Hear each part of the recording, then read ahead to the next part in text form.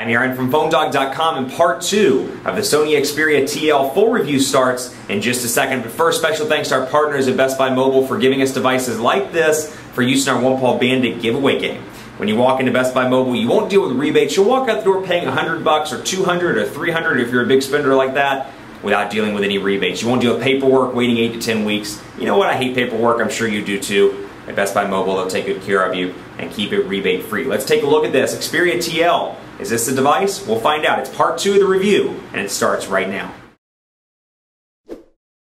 Part two of a review video of the Sony Xperia TL. It's a new Sony device and it's you know represented by Skyfall, the new 007 movie. I almost said Skyfire. I was like, wait a second, that's not right. Skyfall, which is the new Daniel Craig movie. So if you want the James Bond phone, this is the device for you. But outside of being an awesome phone that even Daniel Craig is cool enough to carry, it's got a good price point as well. 100 bucks gets you this device on AT&T and it's packing some nice specifications as well. A 1.5 gigahertz dual-core Snapdragon S4 CPU, a 4.55 inch HD display, so beautiful quality there. A 13 megapixel camera with 1080p HD video recording, which we're going to jump right into right now and take a look at the camera performance. Data storage, let's go ahead and change that around. I'll show you some of the features on this device. We'll bring over the HTC Windows Phone 8X for comparison purposes here so we can take some pictures. And I can change the resolution, the flash, self-timers, smile detection, which I can turn on, capturing method, shutter sound, quick launch, uh, and more. So I can come in here to quick launch, for example, launch and capture. Let's see what else we've got in here that I was working with earlier. Sweep panorama, that's the one that I thought was pretty cool. Normal front camera, so we're going to do scene recognition here. And of course, I've got the option to change back and forth between video and between physical image or uh, still pictures as well. And of course, the flash is turned on. Let's turn the flash off. And let's see what we can do. Actually, I want to get something else. I want to get something black, the iPhone. That might be a little bit better. We'll take a picture.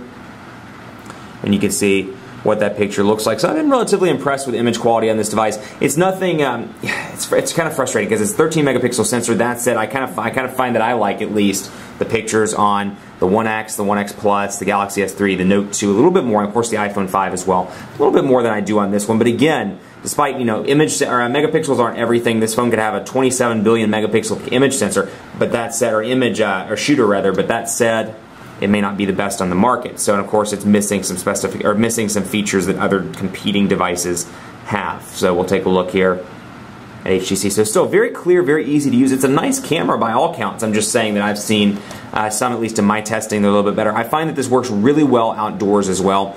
Uh, I took some pictures before I did a hard reset a couple of days ago, and I was uh, really impressed there. So obviously I'm going to bring up my laptop here and we'll take a look. This. And let's see what we've got here. And you can see, of course, apparently there's a hair on my keyboard right there, but you can see, again, very clear, very, the clarity is fantastic here. Been really impressed all across the board with that. So the camera is relatively nice, and of course you got folders as well. Now I deliberately waited this time, once I did the reset, to install speed test and quadrant standard, because I wanted to show you the Google Play Store, and I wanted to show you how fast it operated on 4G LTE. Somebody asked me for that, so we're to go back in here and do this from the very beginning and I'm to put in my password. Excuse me one second.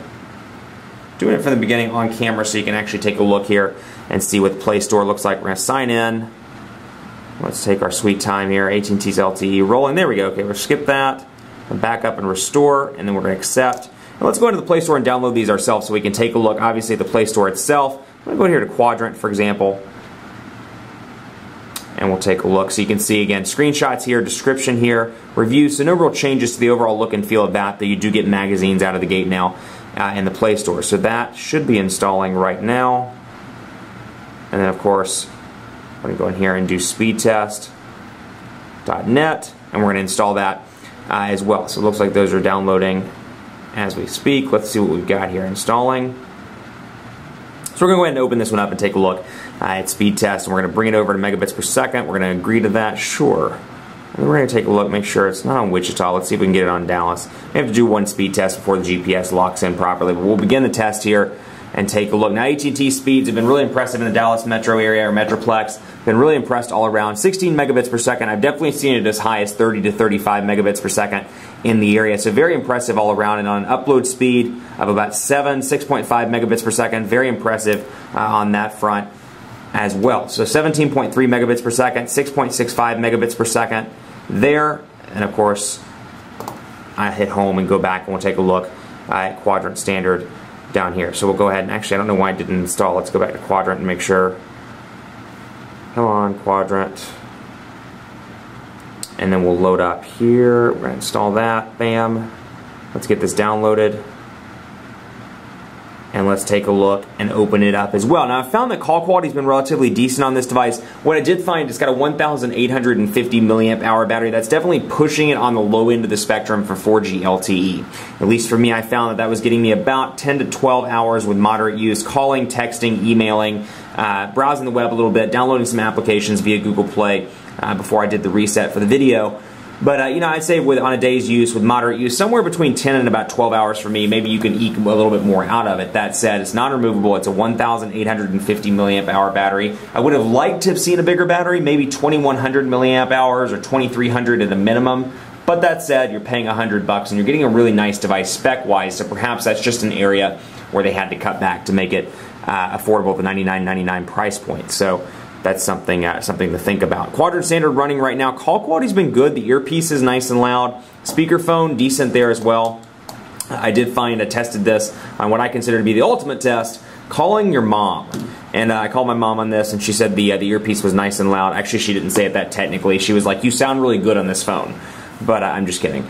Uh, she knows I love her. But um, you know, I gave I always do that as a test just to see how it sounds. She was really impressed with the uh, with the speaker overall speaker on this device. So 4,706 on Quadrant Standard.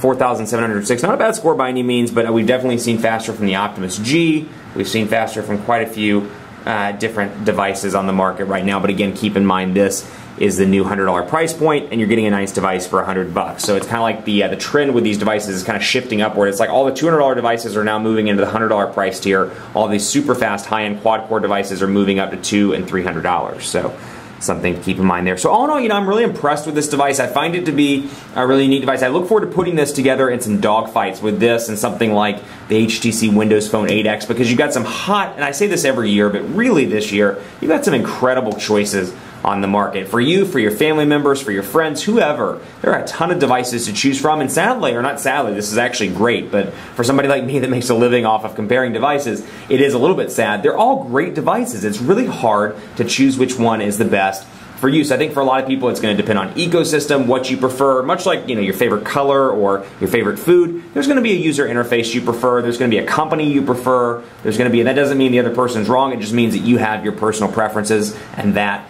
is a good thing. That said, I'm really impressed with this device, and I can't wait to put it to the test even more in the next couple of days. Keep it locked on PhoneDog.com for continuing coverage of the Sony Xperia TL. Like us on Facebook, Facebook.com slash PhoneDog. Let me know what you think of this device on Twitter at PhoneDog underscore Aaron, and on Facebook at Facebook.com slash PhoneDogAB. Thanks so much for watching. Keep it locked on the site for continuing coverage, and as always, we'll see you next time.